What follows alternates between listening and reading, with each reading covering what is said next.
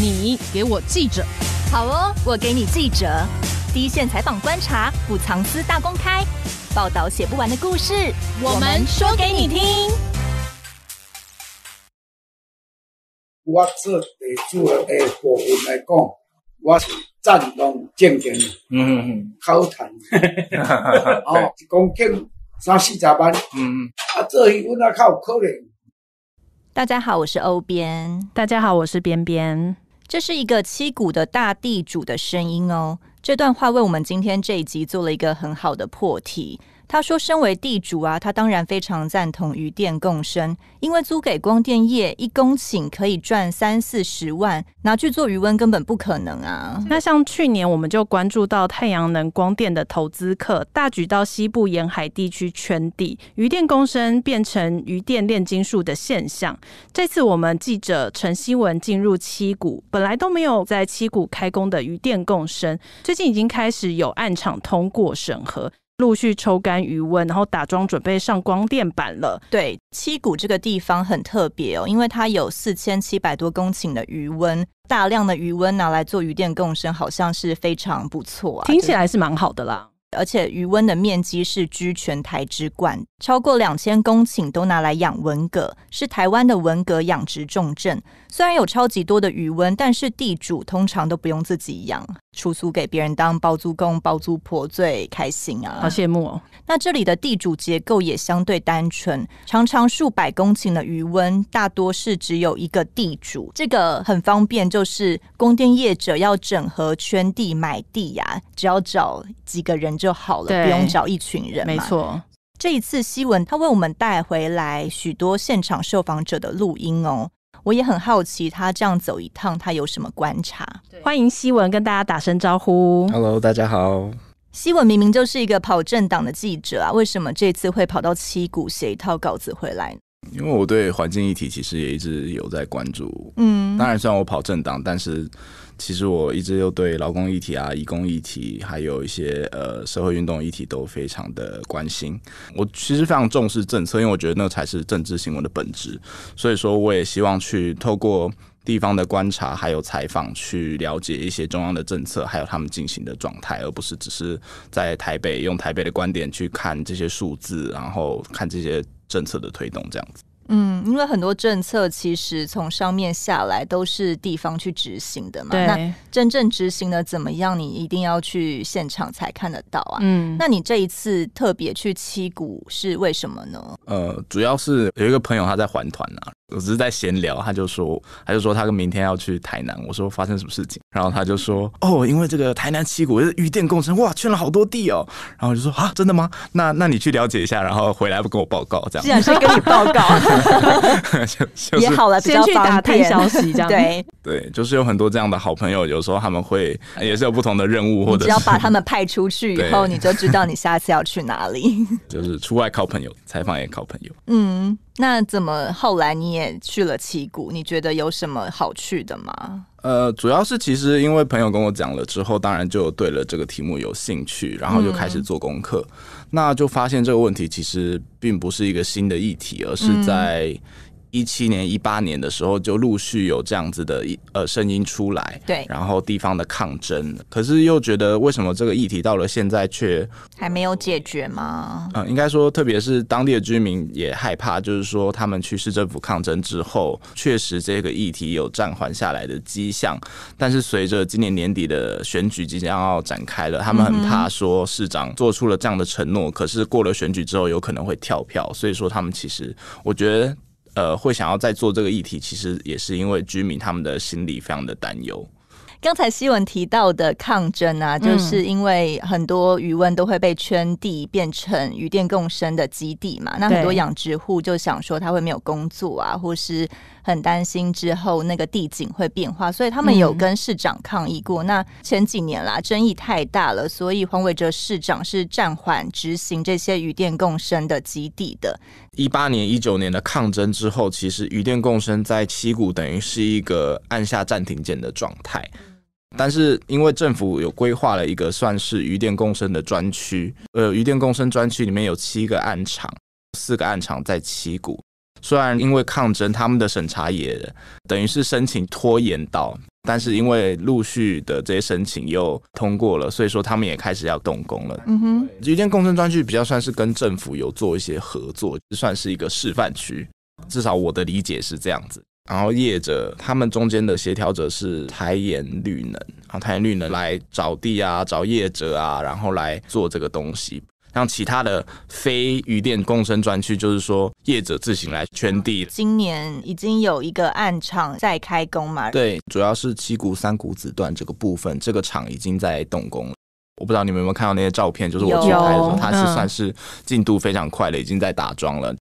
余电共生有两个形态，一个形态是你就是把太阳能板铺在余温上面，那还有一种形态是你要整个余温抽掉，然后你要盖支撑太阳能板的支架，然后呢再把水放回去，然后再把那个太阳能板架在上面。哦，所以说有这两种形态。那日本的话，通常是以这种铺盖的形态为主。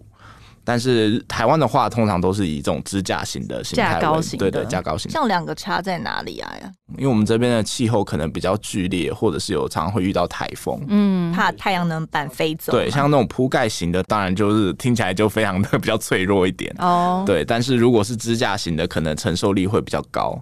这一次去七谷几天啊？大概三天两夜左右。其实就是在七股这整个地区绕，嗯哼，余电共生的大部分都是暂缓的状态，所以说就是这个三股子段这个暗场，我就去看看他们现在进度的状态是怎么样。当然也有看到的就是很多的农地，农地发电的部分，很多呃农地都已经盖起了太阳能板这样子，对，因为他们这个部分是没有暂缓的。嗯希文自己有说，你只是在农地共生的预定地旁边拍个照，就有人来关切哦。对，因为就是想要拍一些施工的画面。那其实这个这个画面现在在旗鼓其实是不难拍到，嗯，只是说就我们刚好经过，然后我就跟我朋友说，哎，我要下来拍照。他说好，然后就开始拍照，然后就工人就会一直看我，想说你要干嘛？对，想说我要是不是要来检举我们这样？然后工头就走过来就说。被冲杀，也没有，可能没有，很有礼貌了，没有那么生气，非常礼貌，非常礼貌，就是有有问说啊，你你要干嘛？嗯，对，然后我就跟他说啊，我是呃报社的记者，我来报道这个关于光电的发展，这样子讲的非常委婉了，没有讲说什么我们要干嘛。对对对，对，然后他就让对，然后我我也就是 想说，因为其实我们报社拍照，尤其是这种光电这种绿能，其实绿能这个议题在。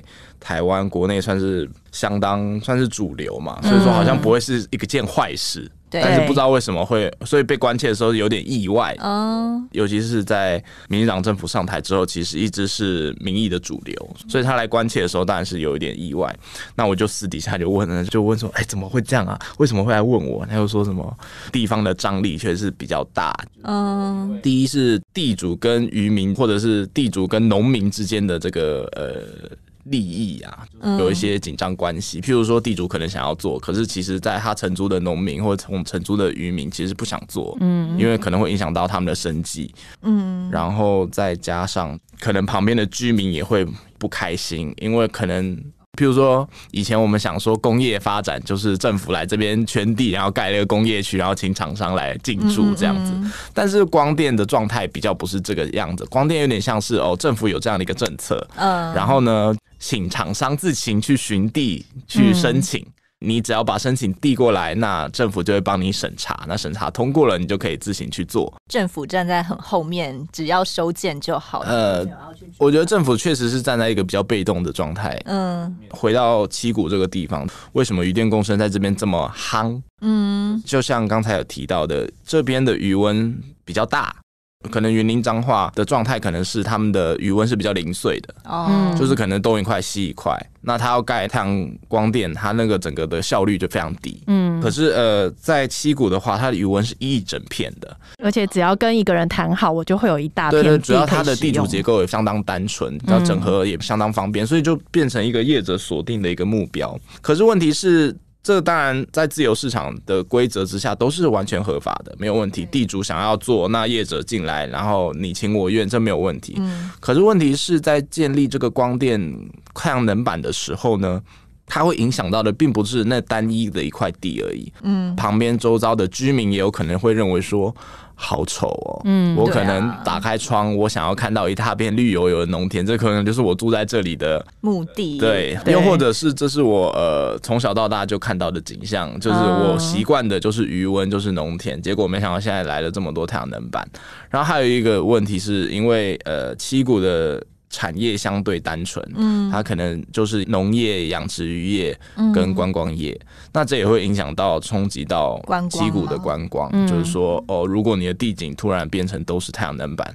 观光客来看太阳能板的，我又不是来看太阳能板。对呀，对，所以说第一刚才讲的就是渔民跟地主之间的关系，然后再就是居民跟地主之间的关系，嗯，然后再加上业者跟基谷居民渔民的关系，都造成了地方上非常讲到太阳能板，其实算是一个比较大家都要选边站的感觉对对对对对对，没错。总共台南现在光电的备案的面积呢，有一万两千两百四十八点六四公顷，所以有这么大。那光是七股区就有一千一百四十八公顷，嗯，这样差不多十分之一。对，所以这也引起当地居民的一个 不满啦。为什么会有这么多光电在我们这里？七股算是台南要执行光电产业的一个重中之重，就对了。可以说算是，如果以现在以数量来讲的话，确实是。台南市的光电就是非常蓬勃的一个地方，等于说是政府有了这个光电的政策之后，台南市有一点像是照单全收，就是他们愿愿意愿意遵从这个农地最多，余温最多，而且他们太阳蛮大的，对，特别好一方面也是这样子啊，但是我我有去打听，就是说我不知道是可能我问的那个人可能有一些偏见，还是或者是真实情就是这样。他可能觉得说，台南市政府没有一个总总体的政策，就中央想做什么，他们就是全力配合，对，全力配合，但是没有一个产业规划说我们要做什么，就是希望把台南带向一个什么样的方向？对对对，刚才有听到嘛，七股的供电面积达到一千一百四十八公顷。业者想要升起装太阳能板的数量非常的多，装置容量上看一 G 瓦一 GW 十亿瓦的发电量，你知道这个大概是多少吗？完全没有概念，因为平常看自己的那个电表也不知道哦，这个概念到底是多少？对，我觉得一 GW 也好难念哦，反正 GW 就是十亿瓦的电量的意思。那换算呢，就等于二零二五年飞和家园光电目标的二十分之一。这样听起来好像是蛮多的。对，所以二十分之一的分量都要压在七股嘛，七股的人当然觉得很受不了啊。嗯，尤其是文革的养殖户。那这些养殖户是怎么想的呢？我们一起回到七股的现场，新闻有访问到三位文革的养殖户哦。我们先来听阿翔的心声。那你对于这样子光电要进来，你有什么想法？这就是一个不可能的事情嘛。反正就是有太阳能，就是没有蛤蟆，嗯，就少了工作嘛。那你觉得你在七股还能做什么其他工作吗？在七股，嗯，可能就要出去外面了吧。哦。阿翔是一个什么样的人呢？他是十九岁哦，好年轻哦，还在读大学，但是就是呃，会会回家来帮忙，然后已经有想要接手家业的这个想法，是的，是对。但刚才阿翔也有提到，如果光电来了，太阳能来了，就没文革是什么意思？他可能就没有办法回乡做事了。这有几个层面啦，因为光电进来之后，业者给的租金其实是相对高昂的，因为业者想要去赚之后发电的优惠电价。嗯，那渔民一公顷可能是租到三四万元，那业者可以租到三十到四十万元，所以是十倍之差，差很多哎。地主就会想说，那我我为什么要赚三四万元？对啊，我可以赚十倍，我就赚，我就躺在那边赚就好了，数钞票啊。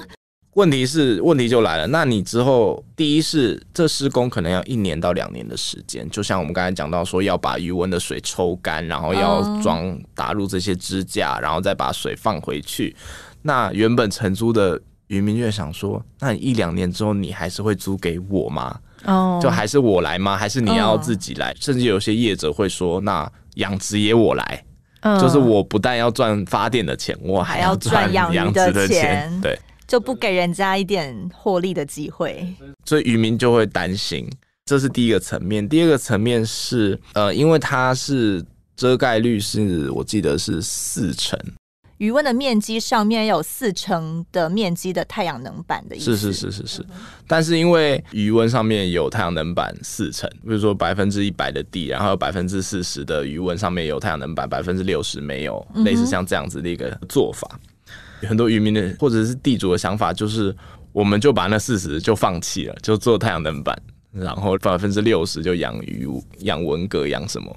就是说，我们就等于放弃百分之四十的地啊。那这样子不叫做鱼电共生啊？这样是直接放弃了可以养殖的地方。呃，这叫鱼电同生啊，那叫鱼电切割术吧？就是电是电，鱼是鱼，但我们没有要共生。我确实是有听到这样的想法，就是说他们对于共生这个东西有点迟疑。嗯，就是说能不能达到共生这个目标？嗯，回到刚才那个。层面就是说，那你这样子确实产能就是一定会降低，因为你百分之四十可能切去做太阳能了。呃，渔民也不相信他们的鱼或是文蛤可以在太阳能光电板底下活吗？鱼应该是可以，但真的文蛤的部分，他们是比较缺乏信任。哦，所以他才会说有太阳能板就没有蛤蟆。他意思就是他们并不相信在太阳能板之下还可以养文蛤。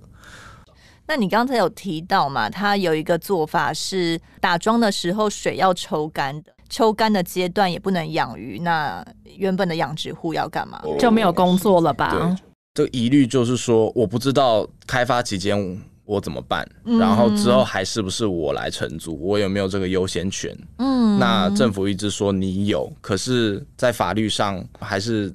有一些是口头上的说还是你对，但是有时候这口头上承诺真的能算数吗？哦，然后在契约的签订上，他们也没有觉得受到保障，尤其是现在在这个渔电共生还有点暧昧不明，这中间有很多呃居民、渔民跟政府之间的抗争的时候，有些渔文他们可能想做，嗯，那也因为这样子就停摆了。可是可能地主那时候已经就叫承租户不要再来了。哦，对，就空在那，会有很多停摆的余温，就是说他们想要做，可是因为这个政策卡在这里，也不知道余温到底要继续养鱼还是不要养，那要停养多久也不知道。对，确实停养这个多久不知道，这是一个很大的问题。就是说，厂商在申请，他可能承诺说我可能今年就是要动工了，嗯，可是因为种种原因，他可能中间申请的过程卡关，或者是怎么样，他没有办法今年动工，嗯，就变成那。地主无所谓嘛，地你你反正你租地你还是要给钱，嗯，但是承租户就会觉得说啊，你不是今年要动工啊，我已经预备可能明年要回来或怎么来养鱼了啊，结果不是还啊就还没有，对，那他是现在也不知道该怎么办，对对对对，所以说这中间就是有很多焦虑，就不知道自己。还是不是我？那我中间要干嘛？然后渔电工程都已经建设好了，那我真的还能够维持到我现在的产量吗？嗯，还是我养的文革可能会死掉，或者是怎么样？这其实也是他们会担心的。阿翔本来都是一个即将要回来青年返乡成功的例子了，可是现在就悬在那边，他也不确定他毕业以后未来的方向，因为他的余温是租的嘛。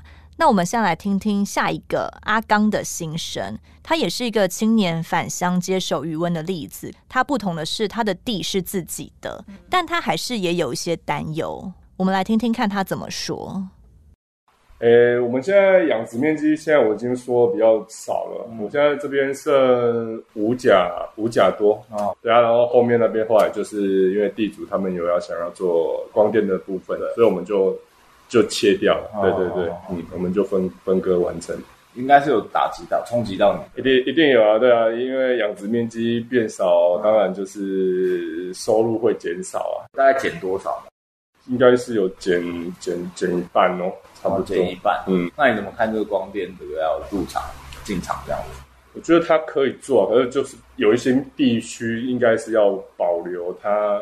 原本比较适合的生态啊，对啊，因为我觉得这边其实就主要是在养殖嘛，我们这一块，那我觉得你可以找一些比较没有用到的地啊，比较荒废的地去整合去盖，然后不要用在我们这些有在经营养殖这一部分的这一块下去做，我觉得应该是有有蛮多地方可以做的，不是说一定要做在这里啊，对。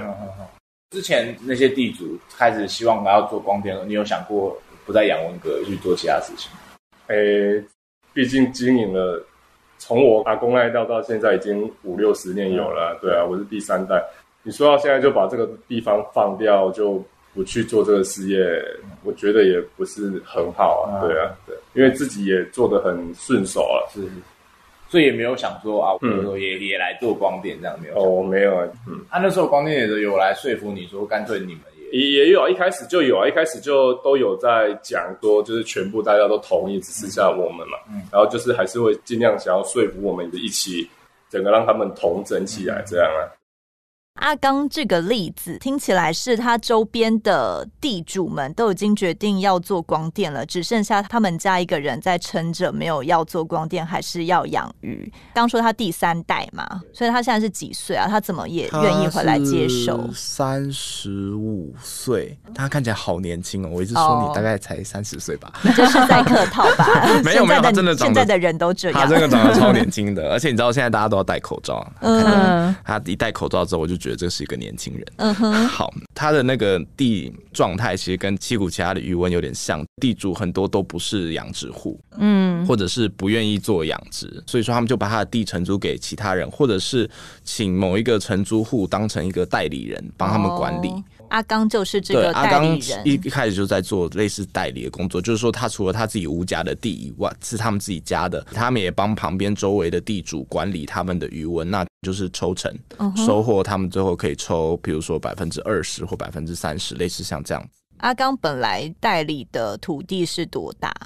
他在帮附近地主管理，应该有三十家大哦。那现在就是因为地主都要拿去种电嘛，所以剩下他自己的地是五甲。对，那他有提到他的收入因此会砍半，这样对他的影响会非常重大吗？冲击应该蛮大，就是说我说整个收入啦，原本可能预期的收入是比较大，但是因为现在光电的关系，它确实是受灾户之一，应该这么说吗？嗯，确实。那如果周遭的地都拿去种电的话，因为也也说了嘛，都会变成太阳能板呐。那剩他们家那一块地养鱼的话，那个渔业会被旁边的太阳能板影响吗？呃，理论上来讲应该是不会，但是我觉得光电这也蛮有趣的，这是一个。蛮新的领域，嗯，那它后续会有什么影响？对于生态有什么改变？其实我们各个国家都还在测试中，所以说我觉得大家为什么会对光电有点不太信任，就是这个原因，就是说它没有一些前面的案例说，哦，它一定会是怎么样，或一定不会是怎么样。就像我们要去参考鱼电共生的案例，可能是参考中国和日本。嗯，但是以日本来讲的话，他们都是用这种铺盖式的，又跟我们支架式的有点不太一样。嗯，所以说你他们的案例也不能完全的复制，或者是来当做参考。嗯，这就造成地方上确实也有一些这方面的疑虑。我们前面两位都是青年养殖户的想法嘛，最后来听听看这位比较年长的养殖户北北阿庆他是怎么想的。你要种电，你有做个所在会当去种啊。啊！而且现在生态搁遐尔丰富啊，生态迄面皮鹭啊，一寡鸟啊，拢在遮。哦，啊，咱嘛讲，感觉讲，哦，咱饲安尼嘛，真有成就感的，踮来当饲一寡迄面皮鹭啊，啊，带动足济游客当来遮个。啊，你即摆即个政策杀落了后，这渔民就感觉真真无奈啊。哦，强烈对比是讲，阮以前啊咧反对七轻的时阵，会当确保即个土土地会当永续发展。啊，较即个时阵，你即摆要甲做。利润哦，感觉在里面嘞，感觉真无奈。嗯，哎呀，对你生计、工作有没有影响？影响很大。你即马太阳能来设落去，可能咱就无头路啊嘛。嗯，你是租多大？我租二十家。哎呀，啊，你中间那你现在那个地主也要，他也要做绿能嘛？对啊，伊就一部分咱就卖去啊。嗯，高价就卖出了，啊，卖出了，伊就改。差不多，你杀去了利能政策啊，政府若准了去，一定会来做呀。嗯，啊，我听说有很多人要抗议，可是地主有施压，还是？嘛是有啊，因为阮租三四万啊，啊，利能要甲因租的是四十万。嗯，你看，伊是要租咱测温啊，还是要租正电啊？嗯，你知道你还可以做多久吗？或者说你地主什么时候要？不晓得，嗯，因为这种的拢伫边仔咧操作啊啦。嗯。基本是讲，咱有甲电视讲，六十一线以西啦吼，这气温啊，是毋是请市长一边吼，爱爱动的啊，卖卖准啊，但是伊嘛拢很暧昧啊，很暧昧就是讲，哦，足势拢已经有有送行去啊，但是今年还毋敢出。对哦，哎呀，啊毋敢出得了，你若年龄了，可能可能嘛会啦。他现在有很忐忑嘛，就是不知道还可以做多久。真的不知道，你也是有那袂去，其实那么该充实你的你所有那企业啊，你即嘛嘛毋含你签企业咧。都要杀静电啊！啊，静电来过，地来行话，土地行话。对，那你是养什么？温个是十五六档啊啦，哎呀，全部都是台语，好考验我。欧边可以帮我翻译一下吗？希文可以帮我们稍微讲解一下阿庆刚才主要的想法是什么吗？嗯，就是说他生计有受到影响嘛，嗯，目前可能还不是有实质上的影响，但他心底是非常忐忑嘛。他承租的地的地主也想要来做光电的话，那他怎么办？就会遇到刚才我们所讲的所有的疑虑，就是说啊，开发的期间啊，我怎么办？那之后开发完成之后还是我吗？那如果开发完成之后的产能我还可以维持一样吗？这些问题其实都都压在他身上。那我觉得这是一个很有趣的现象，就是说。因为七股以前是七清的预定地哦，嗯，就是居民其实已经抗争过一次了。抗争这件事情对当地居民来说并不陌生。阿庆刚才有提到他有去抗争吗？是，就是在一九九三年的时候，这个东地市集团所属的东展兴业公司有提出一个投资计划，那其实就是要来在七股这个在这个地方开发轻油裂解厂。七清，七清，对。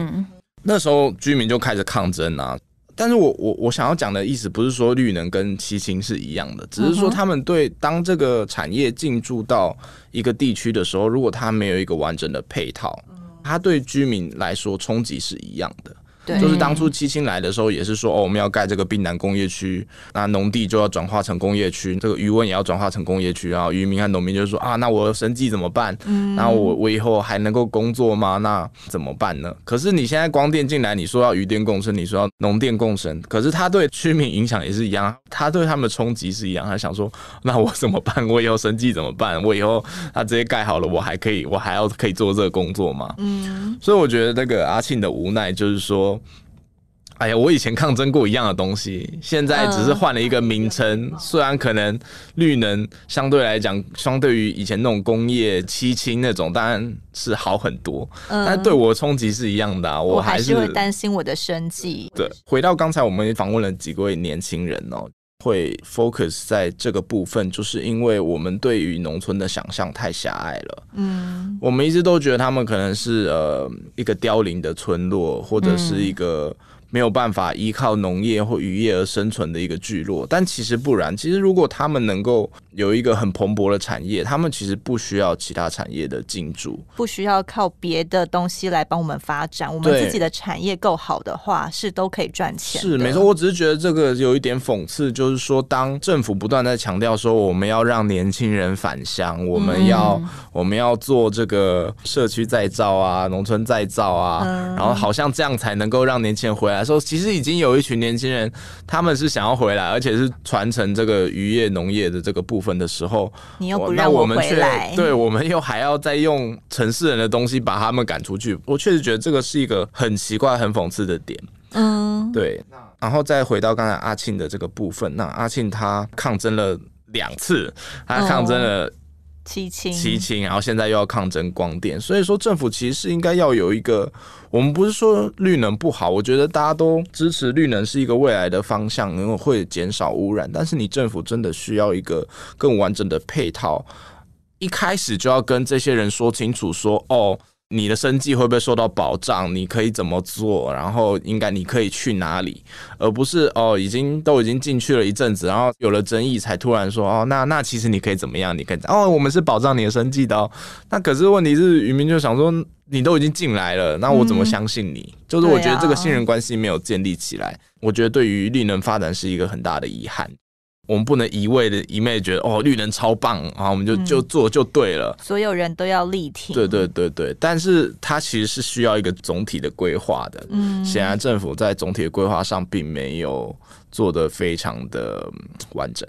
虽然这个政策一下来，但对于每个人来说，都是以我自己的考量为主嘛。那地主当然是希望赚钱嘛。那阿庆身为呃承租户，他当然是希望地主可以继续租地给我，然后我可以继续养鱼嘛。但刚才阿庆也有说啊，地主现在都已经不跟他打契约了，他现在感觉就是有点像是我们房客，嗯，没有在跟房东签约，但相对的就也没有保障啊，因为他也有提到说，我的地主的地如果重电的审核通过的话，那他的地可能随时都会被收走，因为地主就是要拿去给光电业者种电嘛。对，要你走就要走这样子。然后他也有提到，他希望黄伟哲市长是可以至少把台六十一线以西的这块地保存下来，就是这边的余温不要拿去种电嘛。至少他有一个这样子的愿望，但他。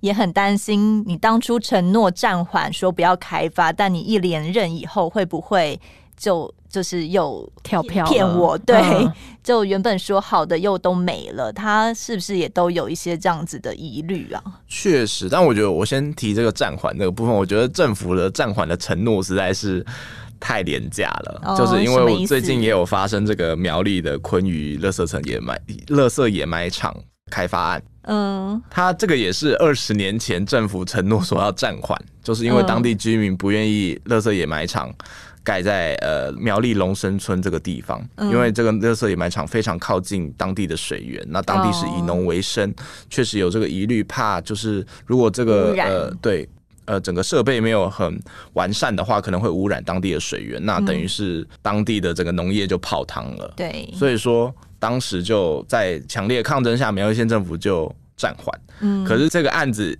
因为是暂缓而不是取消，所以说 这个就是一直都有模糊的空间。所以这个案子到了二零二零年的时候，又突然死灰复燃。嗯，大家记性都很好哎，错愕吧？明明二十年前的事，到现在都还记得。对我们真大家做叫那个僵尸掩埋场，就突然 又复活了。对，所以说我一直说，这个在七股也是同样的，就是你暂缓。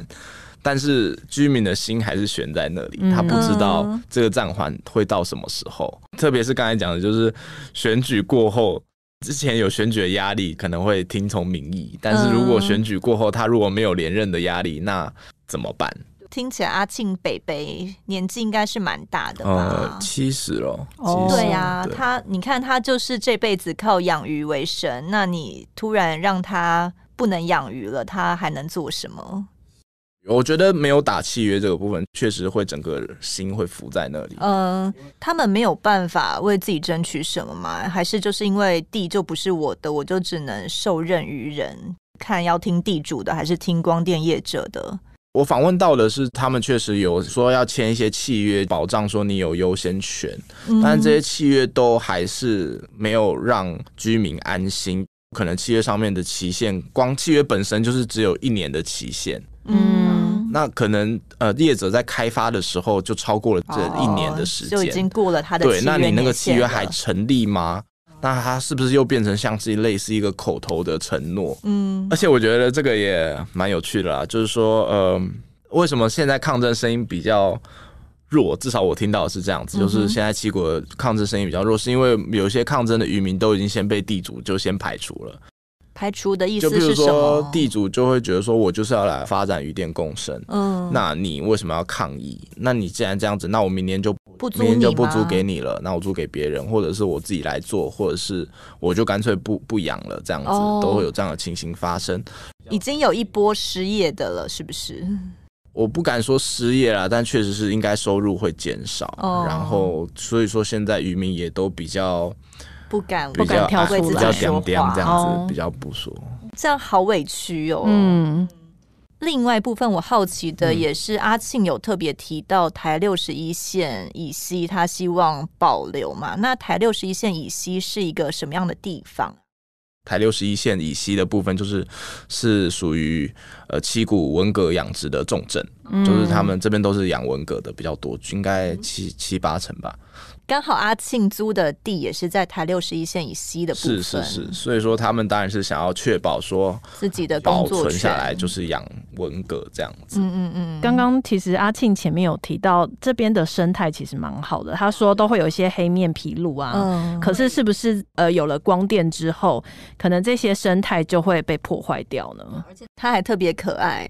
他还说什么？因为他养鱼嘛，然后让黑面琵鹭有东西吃，他蛮有成就感的。那个地方是黑面琵鹭过冬的地方。嗯，那因为呃，黑面琵鹭就是濒临绝种的动物嘛，这也是讲到渔民的不信任啊。就是说，他们觉得现在这个生态很好啊，就是一个很喜欢，就是一个很完整的生态系。他们真的不知道说，如果今天盖了太阳能板。是不是还能够维持这样的生态？那会不会影响到黑面琵鹭？因为黑面琵鹭一方面。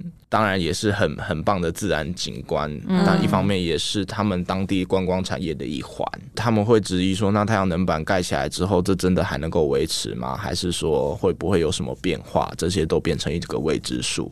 那可见政府当时都并没有做好一个好的说明。嗯，就算我们今天说哦，真的没有影响，但是显然居民是不买单、不相信的。为了发展光电破坏生态这件事情。是会发生的吗？嗯，呃，比如说政府的政策规划考量，或是专家学者的观察。嗯，我觉得现在最大的问题就是政府并没有一个整体的评估，说到底会不会影响到。这一切，嗯，政府一直是处于一个被动的状态，就是业者去申请，然后他递案来，我申请通过了就 OK，好，你来做吧。可是这个一格当然是没有问题，比如说我只有一个业者，我圈一块地，然后来做，嗯，很好啊，没有问题。可是如果今天是一个大量的，譬如我有一百个业者，嗯，来做涌进同一个类似的像七股这样的地区，嗯，会对生态造成什么影响？我我相信政府没有评估过，哦，他没有想象到。大量入侵的时候会发生什么事情？它的试验所可能就是一小块面积。呃，毕竟我们这台湾是一个有台风的地方，嗯，然后可能这些太阳能板会吹坏，然后会怎么样？尤其是渔民会担心说，呃，农电共生的话，那太阳能板掉到地上捡起来就好了。嗯，可如果今天太阳能板是。掉到余温里面，然后碎了，然后可能因为有水啊什么跟泥土混合在一起，那之后这个地还可以用吗？哦，他们也担心这些后续处理的问题，然后是不是太阳能板会造成土壤污染的问题？这些都是居民有的疑虑。那我觉得政府在评估上，他不知道这样大量的太阳能板可能造成景观上的冲击，是居民可能没有办法忍受的。嗯，它造成的景观可能是居民想说，哦，我就是不想看到这么大片的太阳能板出现在我家旁边。对，然后那为什么我也没有想要在我的地上发展这个太阳能板呢？那可是因为我就住在旁边，我但我还是受到冲击了。嗯，可见政府在一开始的时候确实是没有做到这个相。相关的规划，譬如说有一个总量管制，说哦，这个地区就只能有多少太阳能板，或者是怎么样，这是一个整体国土规划的一个概念，但显然这个概念并没有应用在现行的再生能源政策里面。嗯，就导致现在大家都觉得七股圈地很方便，都涌进来。那一涌进来以后，政府好像也还慢半拍的样子嘛，它并没有一个比较好的配套去处理刚才讨论到的这些问题，该怎么办？其实就是呃，我可以讲一个我以前采访的经验。那时候去荷兰采访他们建设他们的自行车道，嗯，那时候就有到一个比较算是比较新建的城市，在可能在阿阿姆斯特丹旁边。然后他们就是自行车道很晚才开始建制，嗯，当他们终于把自行车道建制好的时候。居民都已经开车了，他们觉得他们都不选择骑自行车了。嗯，所以说政策先行，就是这种沟通或者是这种协调，一定要完善了，才有可能让政策去推行。对，我觉得七股的部分也是这样，就是你一开始就没有做好说明，你就是让他先进行了，然后进行到出了很多问题，比如说抗争，比如说文革的养殖、土地的景观。呃，渔民的生计，最后才匆匆来说，哦，这个没有问题啦，或者是哦，我们会有什么样的措施，都就是这样的慢慢拍，让渔民和居民都非常的没有办法接受。他们就也已经不相信政府会秉公处理了嘛？对，没有错。尤其是抗争的时候，其实我在翻以前一些新闻啊，还有论文的旧资料的时候，就会发现其实他们有开公听会，嗯，然后当官员要解释的时候，这些渔民就走了。哦，根本就不想听。对，根本我想要跟你沟通的想法都没有，因为我就觉得你讲的都是谎话。讲到一个重点，就是说你再生能源政策有时候可能不是我们想象的技术上的问题，嗯，而是人的层面没有做好。不管它是公关也好，还是呃政策说明也好，当你这些东西没有在对的时间点去做的时候，其实就整个整个政策是会 delay 的。嗯，而且我们现在的光电发展建制的速度也已经 delay 的蛮严重了嘛。是没有错，因为我们本来预计就是当时民进党政府上台的时候的目标，就是希望能够在二零二五年达到再生能源占发电占比的百分之二十。嗯，但是呃，去年应该是去年的报告吧，就显示再生能源发电量到了二零二五年只能达到百分之十五点二七。哦，对，等于是百分之五就有一个就落后了。对，那这个很大的因素就是因为现在的沟通不良造成的落后吗？这是一个很大的主因，就是说不完全是技术上的问题，有时候人建制啊什么，但是你因为你前期的政策沟通不够完整，导致后来的抗争，呃，不管是风电、光电都一样，都有发生类似的问题。然后结果造成的就是你整个整体政策的大落后。对，我不知道你们最最近有没有看那个什么，有一个韩剧《非常律师与英语》。嗯，反正他们刚好在里面有一集就是讲到环境议题，就是说呃，政府就是想要在一个村盖一条路叫幸福路，嗯，他就这样笔直的设计这个路，就是直接穿越一个村子，村民就出来抗议，然后我就觉得说啊，这个就是欺股啊，对，就是。他们就觉得说，哦，这个已经符合全国的利益啊，然后我们就是也不需要跟村民沟通，村民就是应该要买单啊，类似像这样子。对，就是我明明也是为了国家好，你们干嘛不愿意配合？对对对对对，我觉得这个其实这跟呃各地的这个绿能的政策都有点相像了。我觉得跟地方的居民的沟通就是强烈的不足。那你说要怎么样来补救？我是觉得这这是一个政府现在必须真的要思考的难题。这个政策还是要推行，那还是要跟居民呃来协调。那我应该拿出什么样的诚意？像现在，因为民团跟政府有达成协议，做这个环设检核的机制。环设检核是什么？环设检核就是说，比如说我们先来就是居民跟政府来沟通，哪些适合，哪些不适合，然后来规划出一个区域，就是一个总量控管的概念啊。一个区域里面不能所有东西都。就申请来改余电共政府都买单，都是都 OK。就是说哪些是可以，哪些不可以，这其实就是政府前期应该要做的事情。但是我们现在中期来做这样子，我相信居民也都希望国家好，所以说他们也愿意来沟通。只是你不能就是有点强迫式的。像一开始那样的做法，就是都让业者先来申请，然后等到抗议了，好像会怕，那我们先暂缓这样。对对对对对对对，我觉得这个就是一个不好的开始。但是现在就是考验政府的智慧，就是说能不能在中途的时候再再挽回。七股的在地人到底是怎么希望与绿能一起共生呢？我想就是有限度的共生吧。嗯，我相信他们想要的是一个比较全面性的。规划，譬如说，A 地可能要盖这个农电共生，或者是渔渔电共生，那周围的地其实都应该要去协调。嗯，那个之前也有去问学者，其实，在英国或日本，他们都会有这样子一个协调的机制，就所有利害关系人都会顾及到，而不是说哦，只有单一的地主跟业者还有政府这三个，他们这三方。对对，而是说哦，你要去问他旁边，那他要盖这个，他旁边。OK 吗？还是说他需要什么样的，不管是补偿，还是说他觉得应该要怎么样修改，他比较能够接受，对他比较不会有影响的。然后学者也提到说，就是在英国，他们是真的以地方的景观为主，就是说他们是以地方的特色，譬如说这个乡村就是以观光、以它的山景漂亮而著称，那你就不能你的你的这个绿能的发展就不能够去影响到它当地的这个特色，嗯就不能把山都挖光了，然后跟我说我以山景著称这样子。对，我觉得就是一个环境优先的一个思维想法，而不是绿能优先。现在我觉得台湾的状态就是绿能优先，我们就是要冲绿能，绿能最棒，绿能好棒棒，绿能绿能最大了。对对对，除了绿能，你们其他先不要跟我谈，这样退到后面去。对，那。当你有了绿能第一的思维的时候，说实在的，那确实就是会产生不同非常多抗议的声音。嗯，那你要去压，我觉得最后就是得不偿失，最后就是你的政策就是你的百分之二十只能达到百分之十五。我觉得刚才听下来啊，主要是其实像英国或是国外，他们主要都是。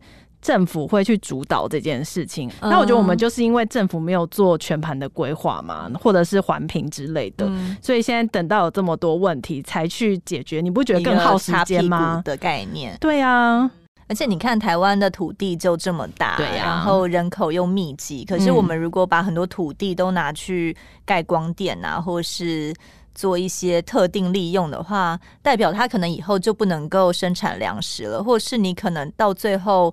呃，光电板拆除了以后，你可能也没有办法真的恢复到你本来的山的面貌啊，或是。田野啊，或者是余温的面貌，土地就这么大，那我们能够留给未来的人做一个什么样的利用呢？还是他们就只能承接？好，我之后就是这块地都是光电板，那我就不能做别的用途了。对，这好像也都是要在更全面的思考的。对我好希望我以后的后代啊，他们讲到七股，我希望他们是可以记得，比如说。七股还有盐田，然后还有一些文蛤，还有一些余温。然后，譬如说想要去呃看看大自然的时候，是会想到七股，而不是只想到说啊那边都是一片一片的光电板，那没有什么值得去参观的地方。我不希望以后那边的环境生态变成这样。对啊，我们如果到时候去七谷玩，都只能看光电板，可能就会直接绕过了，应该就不会去了吧？对啊。那今天很谢谢希文跟我们分享他在七股的所见所闻。对，今天谢谢希文，谢谢，拜拜，拜拜。更多精彩的报道，请搜寻 VIP 大 U 点 com 联合报数位版，邀请您订阅支持。